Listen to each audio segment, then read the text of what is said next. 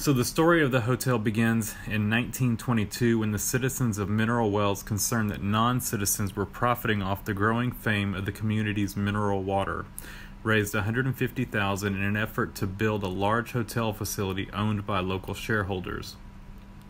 They solicited the services of prominent Texas hotel magnate Theodore Brasher Baker, who gained fame by designing and building such grand hotels as the Baker Hotel in Dallas, the Hotel Texas in Fort Worth, and managing the Connor Hotel in Joplin, Missouri.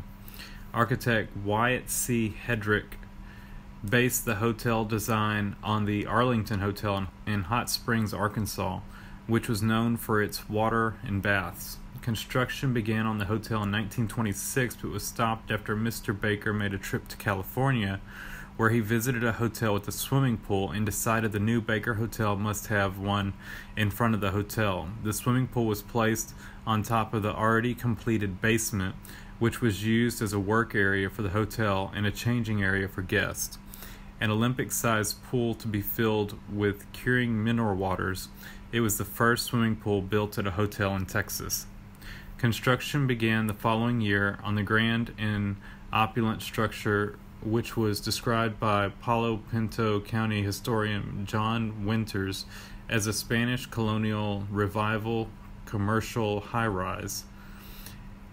It would rise 14 stories over mineral wells, house 450 guest rooms, two ballrooms, an in house beauty shop, and other novelties such as a bowling alley, a gymnasium, and an outdoor swimming pool. Completed three years later with a cost in 1929 dollars of 1.2 million, the mammoth building instantly dominated the city skyline. The Baker Hotel opened to the public on November 9th, 1929 and celebrated with a grand opening celebration gala 2 weeks later on November 22nd. It boasted extravagant creature comforts such as an advanced hydraulic system that circulated ice water to all 450 guest rooms. Lighting and fans controlled by the door locks that shut off and on automatically when the guests left or arrived in their rooms, and a valet compartment where guests could deposit soiled laundry that was accessible by hotel staff without them ever having to enter the guest rooms. The hotel was fully air conditioned by the 1940s, which added to its appeal as a top notch convention attraction, offering a meeting capacity of 2,500 attendees, a remarkable number considering that Mineral Wells was home to only approximately 6,000 residents in 1929. Even though it opened mere days after the 1929 stock market crash, the Baker enjoyed immense success throughout the 1930s due to Mineral Wells' growing reputation as a top tier health spa destination. Several notable celebrities made the Baker a temporary home during their visits to the city's health spas.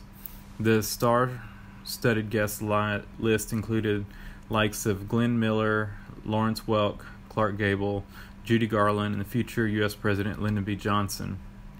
It is even rumored by local historians that legendary outlaws Bonnie Parker and Clyde Barrow may have spent a night or two at the Baker. T.B. Baker began to suffer financial difficulties in the early 1930s, eventually declaring bankruptcy in 1934. He passed control of the Baker Hotel to his nephew, Earl Baker, who had served as the hotel's manager as well as managing director of Baker's Gunter Hotel in San Antonio. Despite its owner's financial problems, Baker Hotel continued to thrive throughout the mid 1930s. As the decade came to a close, however, Mineral Wells' reputation as a health spa was in decline.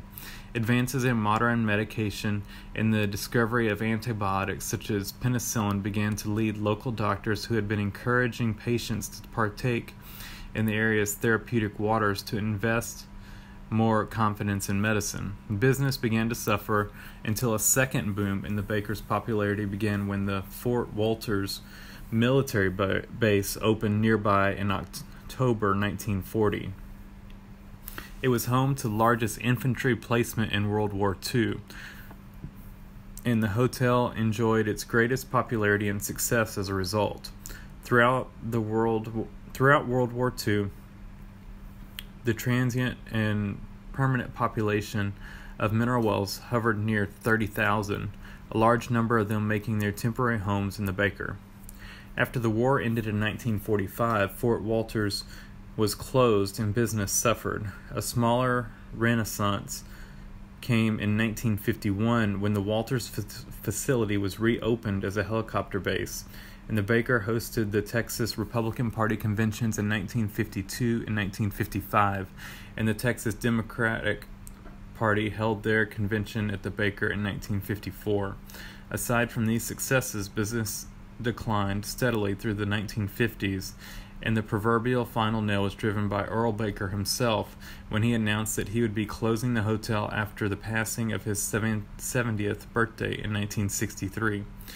True to his word, Baker shuttered the building on April 30th of that year, bringing in to the 30 years of service to mineral wells and surrounding areas. The hotel reopened in 1965 when a group of local investors leased the structure from the Baker family, but the revival would be brief and marred by the death of Earl Baker of a heart attack in 1967 after he was found unconscious on the floor of the cavernous Baker Suite.